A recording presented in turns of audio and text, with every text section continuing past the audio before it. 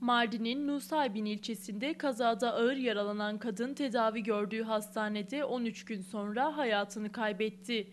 Kaza 29 Eylül 2024 tarihinde Nusaybin Midyat Karayolu Beyaz Su Mesire Alanı bölgesinde meydana gelmişti. Sürücülerinin isimleri öğrenilemeyen 47 LD 236 plakalı otomobil ile 27 AEA 48 plakalı otomobil kafa kafaya çarpışmıştı. Kazada otomobillerdeki Nurcan E, Süleyman I, Hakan Y, Alaaddin Ü, Hüseyin E, Nurullah N, Muhammed D, Veysel Y, Süleyman T, Abdurrahman E ve Nahide Elmas yaralanmıştı. Yaralılar ilk müdahalenin ardından ambulanslarla Nusaybin Devlet Hastanesi'ne kaldırılmıştı.